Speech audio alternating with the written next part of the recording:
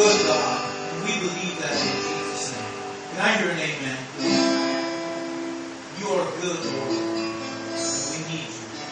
Without you, we can do nothing, God. And we know you're here today.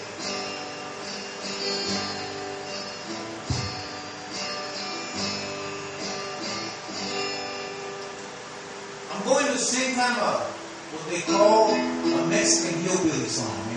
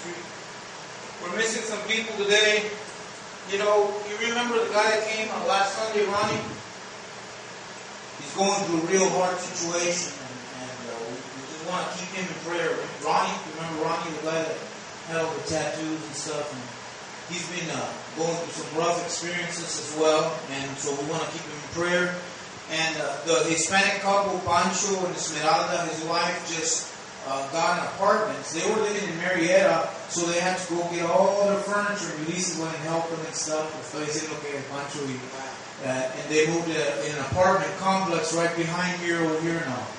Uh, on University, right off, yeah, they moved in an apartment there, so uh, they're uh, getting some of their stuff moved in and stuff and getting ready. Uh, and so we'll have them here next Sunday with us again, we hope to have you here next Sunday. Amen. Are you happy to be in the house of the Lord today? Praise the Lord. Say it like you mean it. Amen. Hebrews 11, 6. I know, listen, listen, listen. I want to tell you this. When we're going through something, it's hard sometimes to praise the Lord because we have our mind on something else. But let me tell you, when you let go of that worry and you become focused on God, He's going to make a way. He's going to present the opportunity. He's going to open the door. And before you know it, you don't even know how. But God made a way. And you have experienced this many times, Margaret. I know that you have. Ulises, cuando Dios, ah, cuando nosotros tenemos algo en nuestra mente, cuando tenemos algo en nuestro corazón, que estamos preocupados y, y no dejamos ir esa preocupación, estamos y queremos alabar a Dios, no podemos alabar a Dios porque tenemos esa preocupación. Pero cuando dejamos ir de la preocupación, entonces comenzamos a sentir que la carga se va. We start seeing that the challenge and the thing starts looking small in our eyes. See, the problem can look really big, bigger than this room, bigger than a building.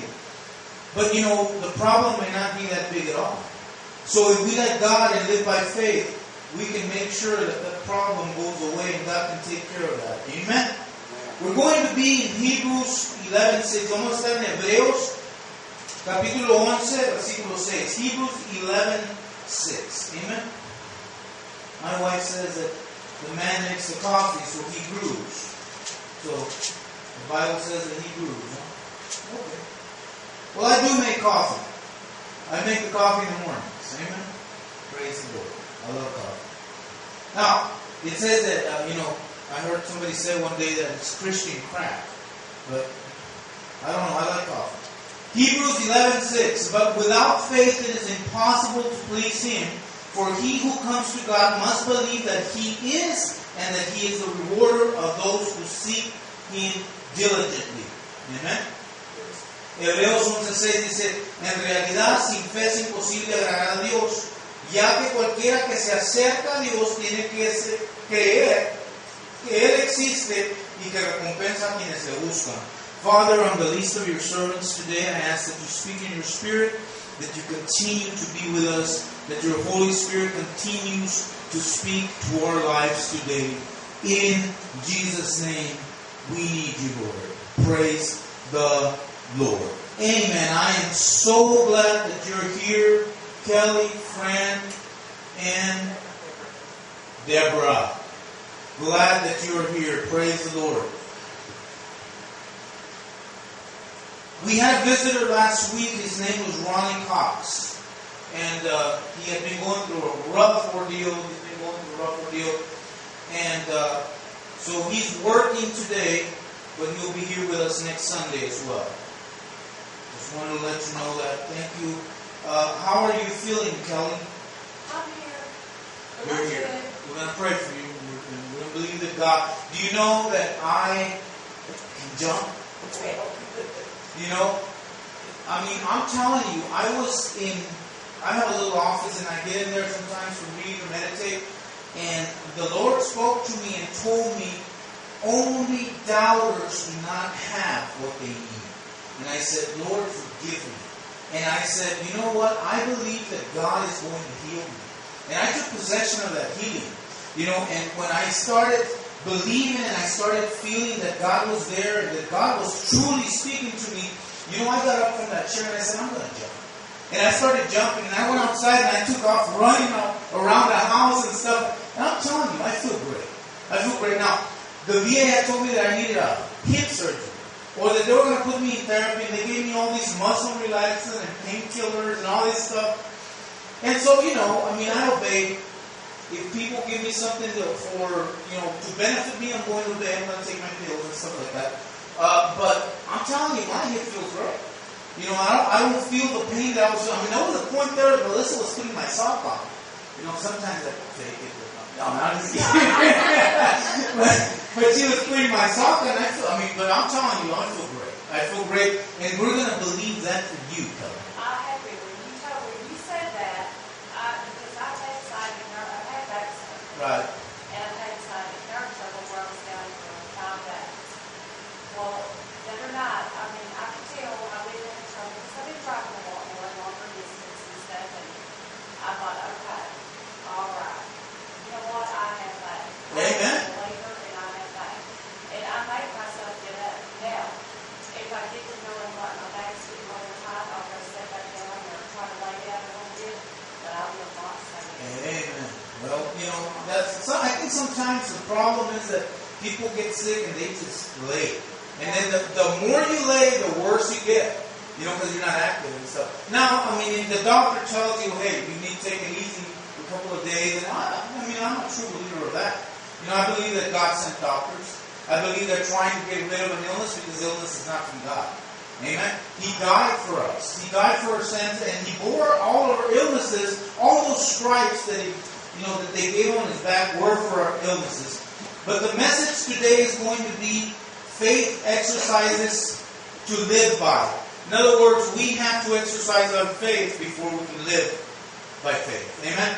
And sometimes it seems harder said, you know, it seems harder to do it rather than just say it. But we still need to put one foot in front of the other, just like we teach our little babies to walk, and start walking in faith. Romans 1.17 says this, For in the righteousness of God is revealed from faith to faith, as it is written, the just shall live by faith. How many of you have ever seen uh, Jesse Duplantis on TV? Have you seen him? Boy, that guy has a testimony, don't he? I mean, he has a testimony and he's funny too. I love the way he preaches and, and stuff. And, and you know, I believe that Jesse Duplantis had a close encounter with God, really did. Because he has an anointing so powerful that I was able to see Jesse Duplantis because I went to Christ for the Nations to my theological seminary, and they bring so many people, so many ministers, you know, from different places that uh, that are, you know, really, really, really working towards uh, making people understand that God still does miracles today. You know, and uh, I seen him perform a miracle there uh, on one of our students that had been having problems with his knee and stuff, and, and actually they had, they had had about five or six surgeries on this girl's knee, and I mean he laid hands on that knee and he prayed, and that girl, I mean, she just jumped up, and I said, you know, sometimes people, you see this on TV, you see these things on TV, that's a bunch of propaganda. You know, it's a dangerous thing to say this or that is not of the Holy Spirit. It's a dangerous thing, you know, because nobody can know what God is doing through other people, so we need to uh, be careful with that. But it's true. Faith can move mountains, that's what the Bible says. It can move mountains, and it can move anything that we are facing in our lives. Sometimes it's hard, you know. I know I was telling them before you walked in that when we have a problem, we focus so much on the problem that it becomes gigantic. And it may just be a little problem like that, but we have so much focus on this problem that it soon it overwhelms us. And it's all around us, and everywhere we see it seems that we create other problems, you know. But that's not, God doesn't want that. He wants us to walk by faith. So I want to build a faith picture in your life about your family, about your love, about your marriage, about the people around you, so that you can start living your life in faith. It's important because if we don't, we're going to fall flat on our face. Now, I posted this yesterday on Facebook. Three, uh, it's the third book of John, not uh, not the third chapter, the third book of John, chapter one, verse two. It says, "Beloved, I pray that you may prosper in all things." So God does not want us to be in want. One of the things I want to tell you, God does not want us to be in want. I pray that you prosper in all things and be in health, just as your soul prospers. So, two things very important that I want you to see in this verse. I pray that you may prosper in all things, not just in some things, not just in that thing or that other thing or this thing. He says in all things. And then it says the second thing that he tells us directly to us, he says, and be in health. Okay? That's not me telling you, that's the Word of God telling you, all of you. He wants us to be in health. Now let me tell you, sometimes there is things that come into our life, and we get sick because we are in a fallen nature, and because this world is still around us. And though we are human, we still have a very privileged thing. It's prayer. And it's asking God to be healed. And it's asking God to take away those very things that afflict our body. Now, sometimes there is affliction of poverty. Now, one of the things that I want to tell you, I don't believe that God wants us to be in poverty. I believe that poverty is a state of mind. Now, the Bible doesn't say that. I said, I believe. That. Now, God does say that He wants us to prosper in all things. Then Jeremiah 29 11 says, I have good things for you, plans to prosper. He even says the plans are to prosper us, not to harm us. So God does not want to harm you or you or you or you or you. No one. He wants to prosper us. He wants us to be in health. And He wants us to be in more than enough so we can be a testimony to others of what God can do. Understand? A lot of people say that miracles don't happen today. Now, there's a conversation, I'm not going to say who, but there was a conversation that went on this week we had.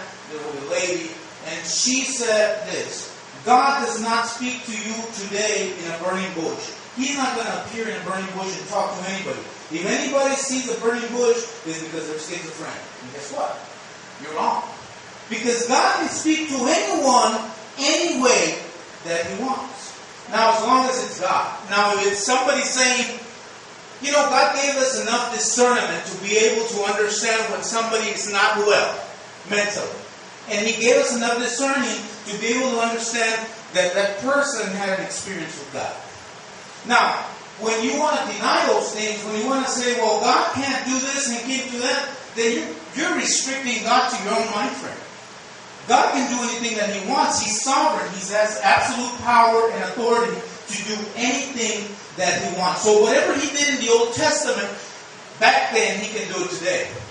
See? So if God wants to part the Red Sea or the Durand Lake, He can. Amen? That means you can. I mean, I'm here no amen. Amen? Faith involves assurance and conviction. When your faith is solid, it stands under every situation and supports your very belief. So, no matter what happens, when you believe in God in faith, you're going to take those steps, no matter what, what it looks like. In other words, I do not believe my senses. Because guess what? Our senses can be wrong. In wintertime, let me tell you this. In wintertime, when you go outside, it's what? It's cold. And you feel it. Your body feels it. But when you're inside in the warmth, and you know, and to those of you that have central air and heating, it's nice and warm, and you got a nice little cup of hot chocolate with marshmallows and stuff, and you're just enjoying a good Christmas movie, you know. And then all of a sudden you feel warm. You don't feel the cold outside. But as soon as you go outside, you feel the reality of what it really is. Well, that's the, the, the same thing with faith. See, your senses can be wrong. You can be somewhere in comfort, but it doesn't mean that's what God has for you. Amen. God has something else for you. God has something good for you. So you have to understand that we cannot operate believing our senses on everything that we see. Everything that we see sometimes is not true, Margaret. Sometimes the devil presents situations in our life which he says, this is what it is, and no matter what you do, it's never going to change. Well, guess what? God says that he can change those things. God is not going to leave you forsaken. This, I, I, I believe that the Bible says this, and, and, and I believe in this. He says that I have never seen the righteous forsaken, nor his seed begging for bread. God said that you will not be forsaken. God said that. Not me. God said that. And so if God said it, I believe it's true. So your assurance and your convictions make things possible to happen because you're walking in the belief that what God said is going to occur. Amen? And it's important that we do. How many of you heard about the Neo Obamacare?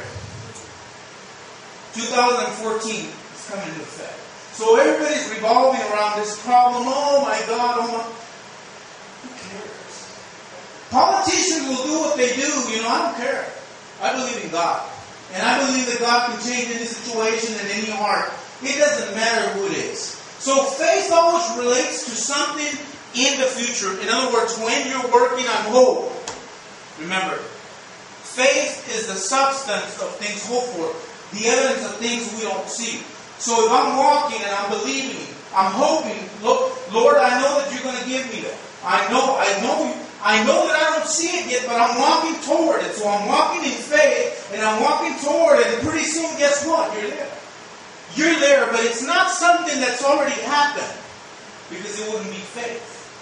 It's not money that you already have in the bank. It's not a car that you already have outside park. It's something in the future that God has for you that day. See? That's what hope is. Hope is expecting the things that you want that God is going to make come to happen. That's what hope is. It's important that we understand that. So be assured. Have self-assurance. Don't be weak. Remember, I told him that the other last Sunday in the message. I told him that I told him about Rocky. I, I I was trying to give an example, and the only example I could come up with is Rocky, the movie Rocky. You know, he's over there, he's fighting. You know, and he's got a big old eye like this. I mean, he's got blood coming out, squirting out of his eye. But he's still throwing punches. You know, he's still throwing punches and he doesn't give up. And that's what God wants from us. God does not want us to give up. Before we are saved, our minds were trained to respond according to our carnal knowledge. So before we were saved, if they told us, oh man, if you would go to a doctor or you, uh, say the doctor situation, you would go to the doctor and the doctor told me you have three days to live. So, you know, it's over.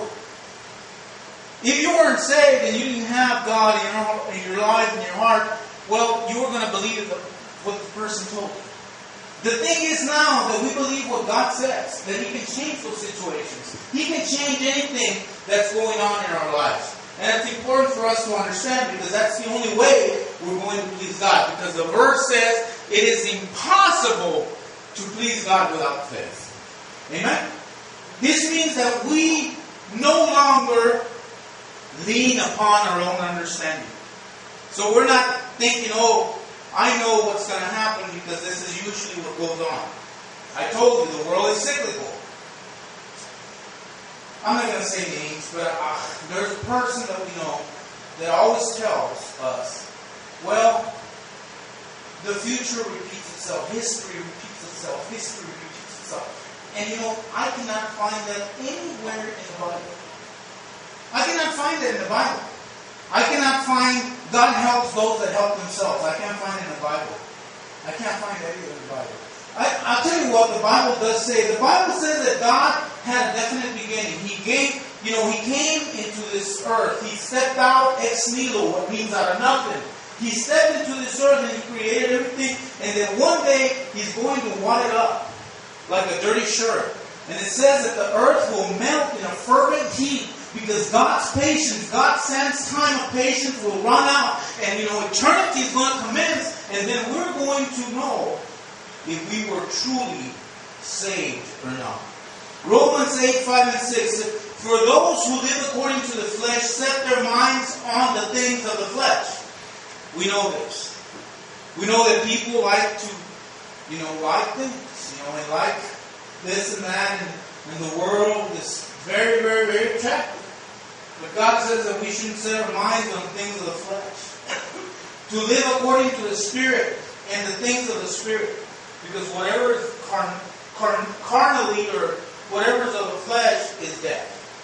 So before we start thinking about gratifying our flesh and you know giving it what it wants, it wants a lot of things. But we have control of the Spirit. That's why one of the fruits of the Spirit is self-control. We have to have self-control. If we have thousand dollars in the bank, we're not going to go spend fifteen hundred. You know, we have to have self-control. Amen. As Christians, we are now people of faith, which means God wants us to move in realms of faith rather than unbelief. In other words, we are people who believe that things can happen. You know, have you ever gone around somebody, well, I don't know, no, I don't know. Yeah, but. And everything you tell them is but, but, but, but. Faith. I believe that God said, I believe it can happen. I believe that God is going to make it come to pass. Period. Don't keep comma, comma, comma. Put a period in that thing, end that thing. You know, end the sentence and believe that God is going to do what He said going to do. You know, one of the things I admire on my wife is that she has a lot of faith. You know? And sometimes she takes me and tells me, listen, if God said it's going to happen, I'm going to live by faith. And, and, and, and the Lord uses her to instruct me sometimes to tell me, hey, what are you saying? You know? So I have to believe that God, you know, it's so true that God gives you some of this destiny in Josh. Somebody places somebody in your life to complement you, to balance you out. So as you're starting out in your life, both of you, both of God brought you together for a reason. Amen. Now it's up to you to discover that reason why God brought you together. And walk in faith and love and confidence. And cherish each other and love each other. Amen? I believe that. So, do you ever wonder why we so quickly receive those things that are negative? You know, why do we receive the things that are negative rather than the things that are really from God? You know, that God said it can happen. But we, we believe so many things that, you know, we, we hear our car ticking a little bit and stuff. Oh my God. It's going to break down. I'm probably going to have to spend a whole bunch of money to fix it. Pray for the darn thing, you know? Pray for the darn thing. Say, hey, I believe that God is going to make my car last. I need this car for my job, Lord. You know I needed to go to church. God, help me. Amen? We have to, you know? How do you remain a person of faith when everything around you speaks of unbelief and doubt? It's hard. You know, the world the world is full of negativity and doubt, but we have to step into that realm of faith. And we have to believe that God is around us, and because He's around us, things that move out of the way. You know, when we pass by, things move out of the way. You better move out of the way. You know, that's the devil. You know, the devil's a liar. He's the father of it, and he'll make things happen. Praise the Lord. Amen. Well, I'm blessing myself today. Amen. Faith exercises to live by. In order for your faith to grow, it must exercise on daily basis. Just like when we want to lose weight, we have to exercise daily. You understand? We have to get over there and do something about it. We cannot expect something to change if we never do something different. That you know that. I mean, everybody. I mean, anybody that has preached, I think, has used that. You cannot do anything unless you change the circumstance you're in. I mean, it's not going to change unless you're willing to change it. You know, when God can change it, but hey, you got to take that step of faith. Faith without work is dead. Faith without works is dead. It was a missionary who used the example of a rowboat. And he would put people in his rowboat, and he had two oars. And when he would use the right oar, the rowboat would go around in circles, you know, in one, one circle, and the people would look at him. then he would use the other one, and it would go around the other way in circles until he used both faith and works, he was able to move forward. Amen.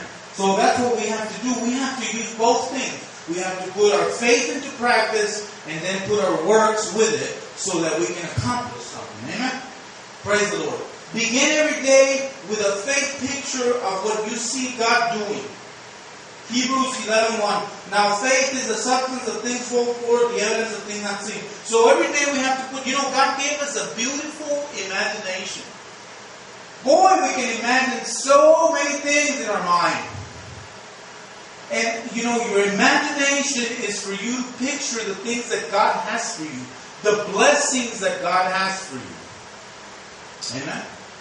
When you put those pictures of faith in your mind, you are going to start living by it. You're going to walk into those pictures pretty soon. When you keep those things in your mind, when you keep things that happen that God said will occur, you start putting things in perspective and things start going. Now, you, you have to understand that it has to be according to the Word of God. Going to the Bible, that's why it's important for us to read the Bible, to understand what it says, so then we can think what it says and we can begin moving towards what God has for us. Begin to get a faith picture of what you see God doing in your lives, whether it's your marriage, your, your discipline, your children, your relationship, or your finances.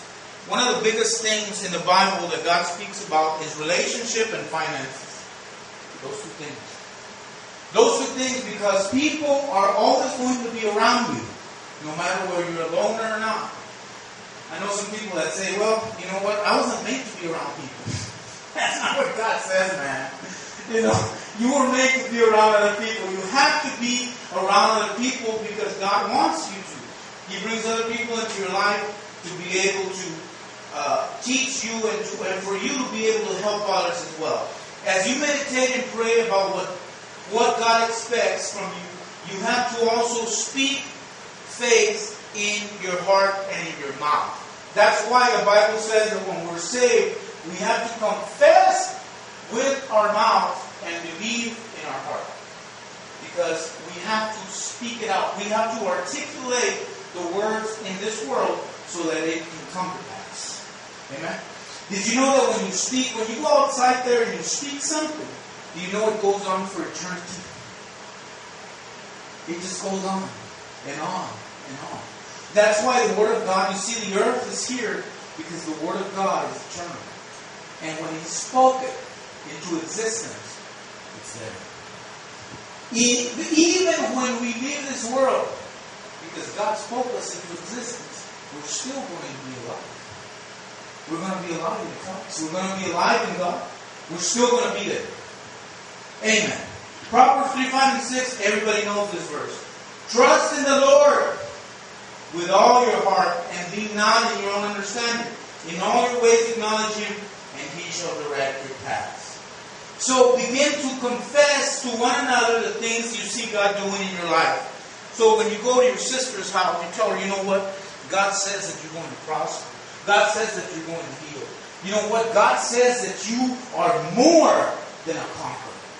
We have to speak things of faith in people's lives. If we don't, we discourage people and we're not doing what God says.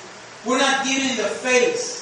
You know, everybody has a measure of faith. You have a measure of faith. You, you, you, you, and you. Everybody does. Different. You understand?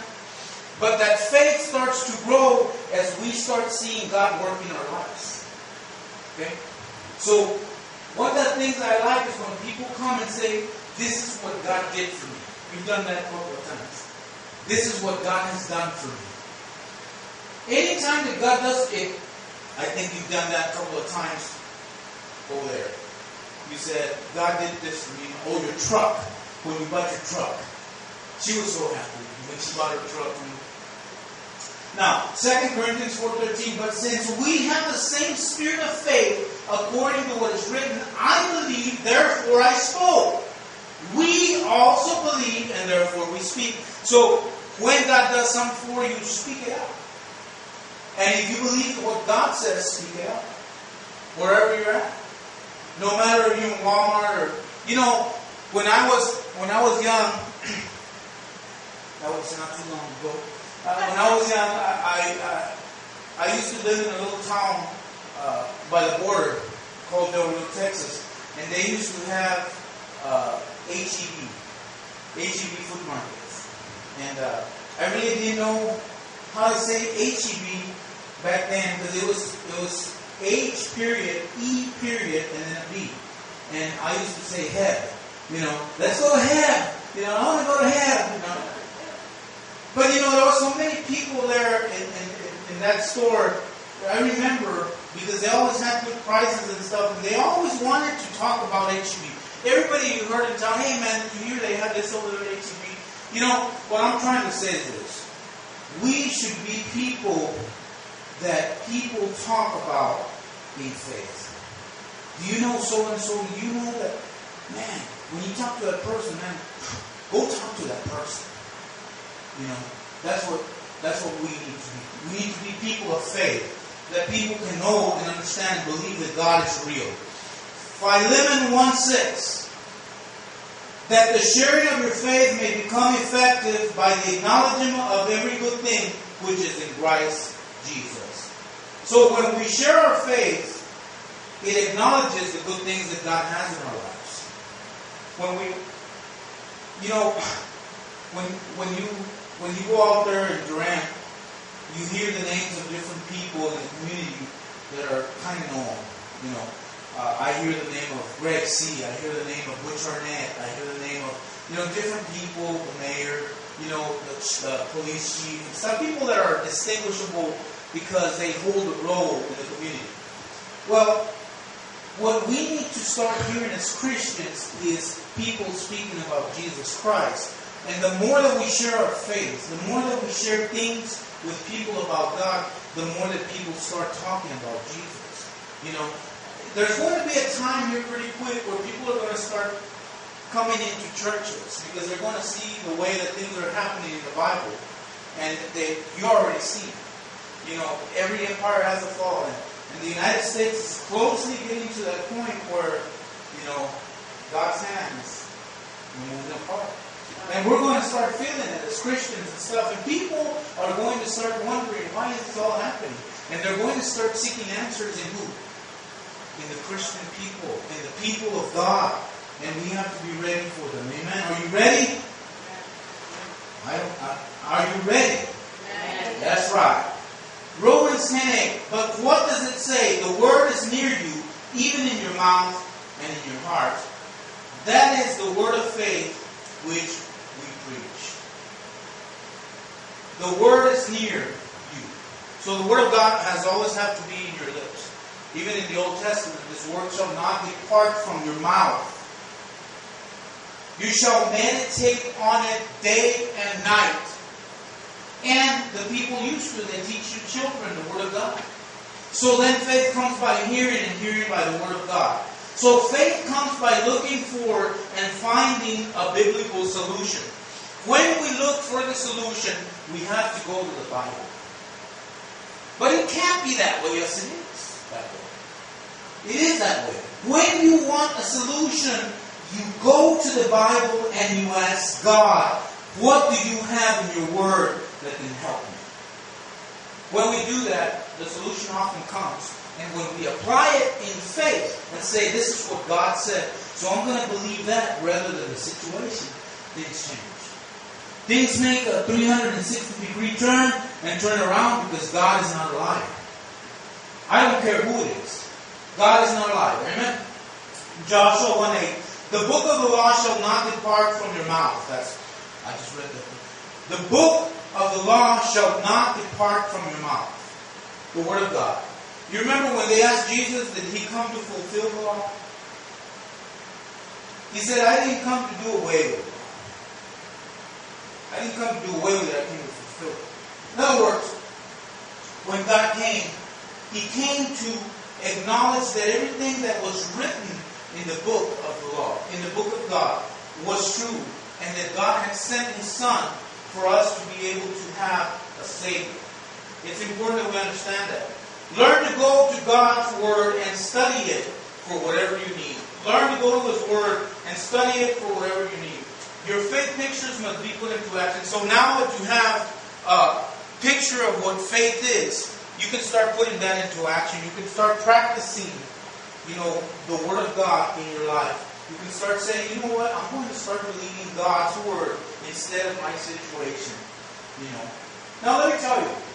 I can tell you this because let me tell you. There's nothing there is absolutely no one in this life that has not gone through a problem.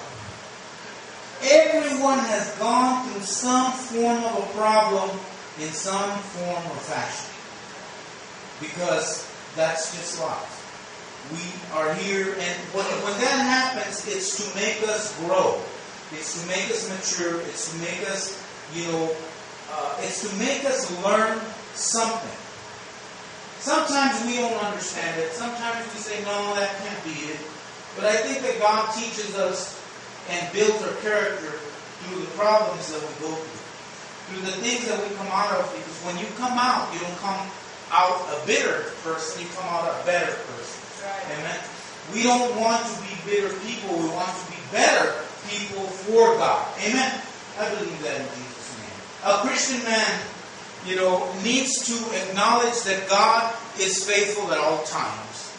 When people ask me, you know, I had a couple of people that, you know, when, when the doctor, Dr. Prasad, uh, is the one that you know sees me, and, and, and he told me about my hip and stuff, and I told my wife, you know what, this is what he said.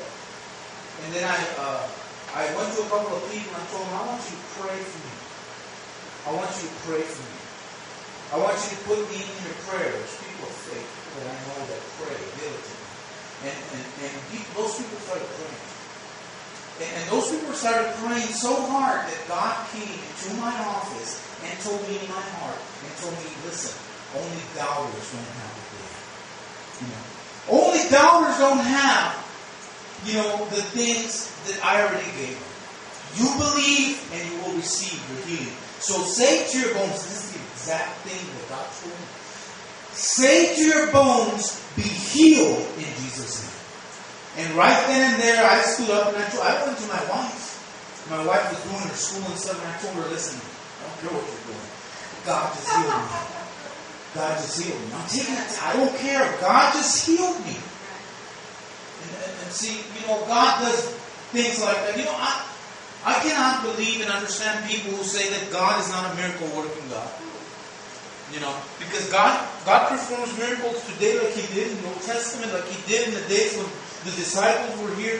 He performs every miracle, you know, in our lives. You know, every time that you pray and you receive an answer, it's a miracle. Every time you pray, you receive a miracle. You know, oh gosh. Do you want serious changes in your life? Do you want serious changes?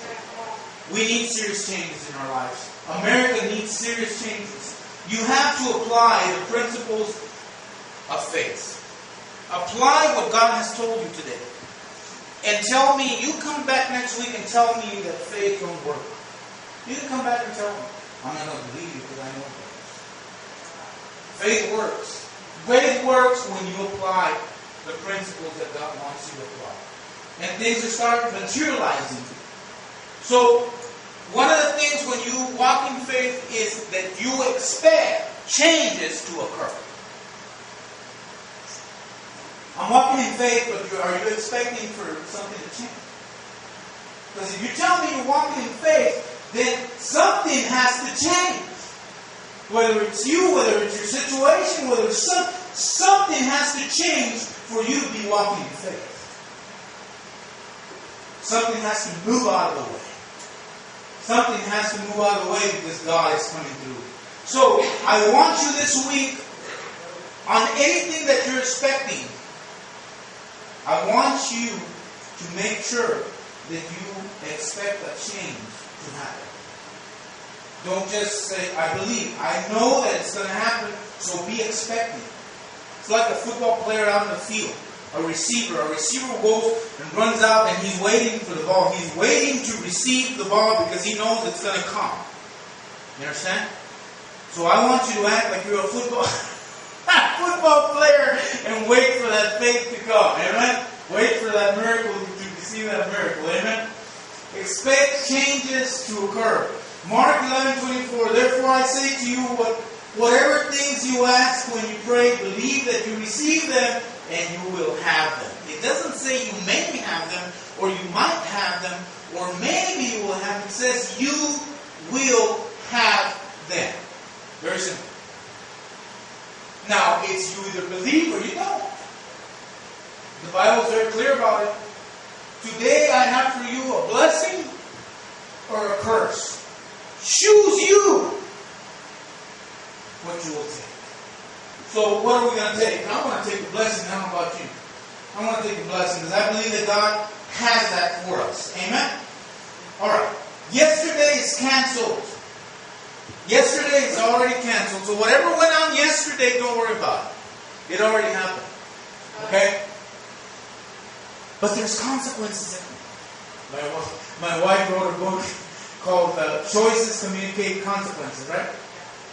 She she has a good book. She wrote a book. But let me tell you, even if the consequence is there, even if the consequence is there, whatever happened yesterday, this is your today. Today is what God has for you, not not yesterday. It's gone. It's over and done with. Whatever you didn't do there, do today. When you do that today, it's going to be a lot better. Let me read this for you. Yesterday is a canceled check. We cannot negotiate it. Tomorrow is a promissory note. It can be utilized until it arrives. Today is cash in hand. It must be invested. The psalmist had a good way of expressing those things. You know, today, whatever you have, put it to use. I think there's a song that says, This is the day the Lord has made. This is the day, this is the day that the Lord has made, that the Lord made. I will rejoice. You know, that's what He wants us to do. He wants us to rejoice and be happy and be glad in it.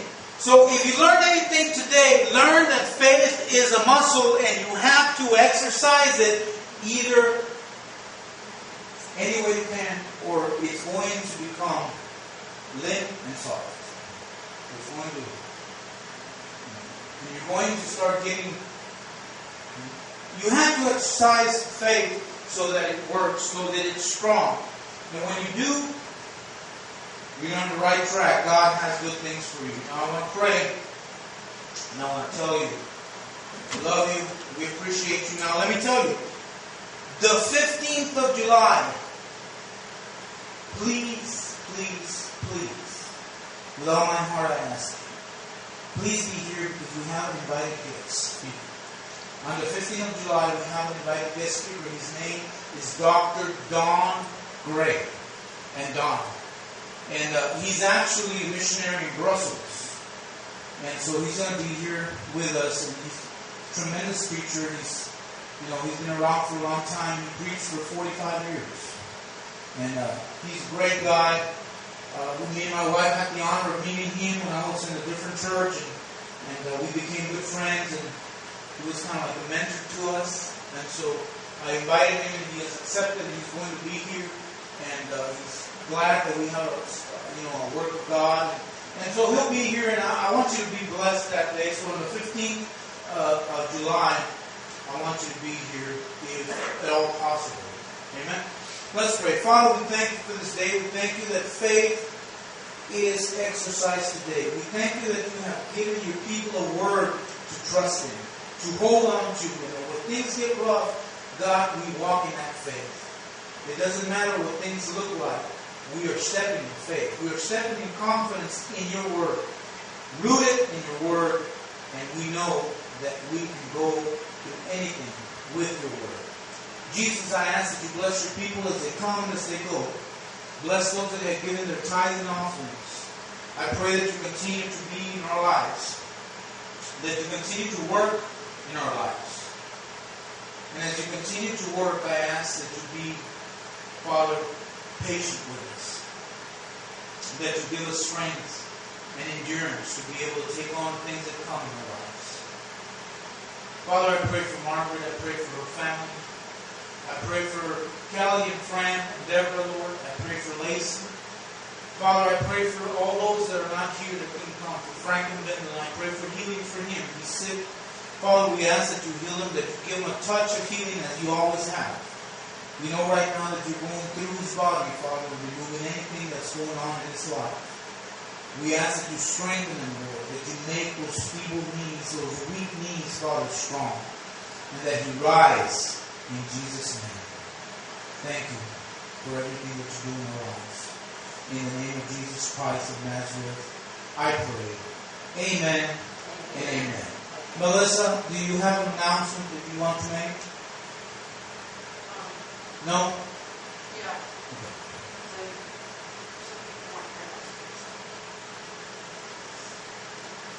Look what you have for Um, next week, which is the 8th on Sunday, is Pastor Appreciation Day. So um, we're going to try to um, get together and set something up to, to do for that day. Um, we are going to be taking up a love offering for him. And um, I'm actually going to be bringing the word to you that week as well. So just to kind of give you a heads up on what's going on for that it. All right. Well, thank you. I appreciate that. Well, if you can be here, then be here. I, I appreciate it. Thank you for coming, Margaret and Destiny and Josh. And Josh is tired. At that. He's tired. Man, I, I can relate. Sometimes I feel that way. Did you have a good rest? I hope you did. I hope. Hey, this is the best place to come and rest. Because the Spirit of God is here. So even if you were listening, the Spirit of God spoke to you. Amen. So we believe that. How many of you believe that? We believe it. Thank you so much for being here. We love you. We appreciate you. Thank you so much. God bless you.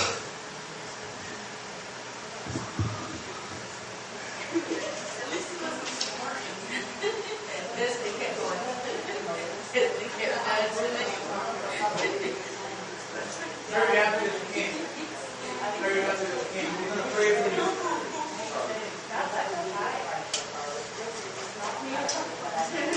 Let's pray. Father, I just pray for Kelly, pray for her back, Lord, anything that's going on. Father, we pray faith. Father, we pray that you strengthen it. We pray that you restore her muscles, her bones, Father, her nerves, whatever's going on. We ask that you to restore that in Jesus' name. We believe and receive. Amen. I'm glad you came. Deborah, you How you feeling? You feel okay? How place